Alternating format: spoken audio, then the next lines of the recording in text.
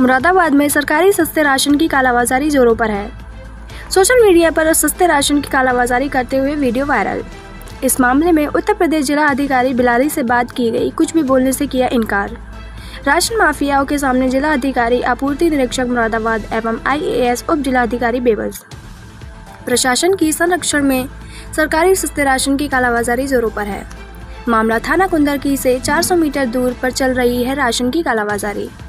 Social media पर चार दिन से कालाबाजारी करते हुए एक वीडियो वायरल हो रहा था, जिसकी जानकारी उत्तर प्रदेश जिला अधिकारी से व्हाट्सएप मैसेज देने के बाद ली गई। जानकारी देने से किया इनकार। उत्तर प्रदेश जिला अधिकारी एवं जिला आपूर्ति निरीक्षक मुरादाबाद से फ़ोन पर ली गई जानकारी कैमरे पर बोलने से किया इनकार। कालाबाजारी का वीडियो कुंदर की क्षेत्र का बताया जा रहा है। किया मामला देखिए ये संज्ञान में आया है इसकी पूरी जानकारी अभी मुझे नहीं है। पहले तो इसके तथ्यों की जाँच की जाएगी तत्पश्चात जो भी दोषी हैं अगर वो दोषी पाए जाते हैं तो उन पर कार्रवाई की जाएगी।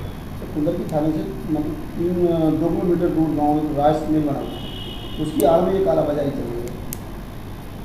इसकी पूरी अभी जानकारी मेरे पास नहीं है। वीडियो वायरल हुआ वीडियो मैंने नहीं देखा है।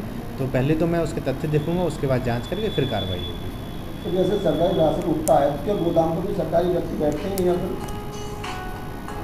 हाँ। हाँ सर गोदाम पर राशन उठता है तो उसमें कुछ सरकारी कर्मचारी को बैठाया जाता है या फिर ठेके में सब काम चल रहा है? नहीं वहाँ गोदाम प्रभारी होते हैं उसके ज़रिए राशन सिंगल स्टेज के तहत राशन की दुकान है वहाँ तक पहुँचाया जाता है।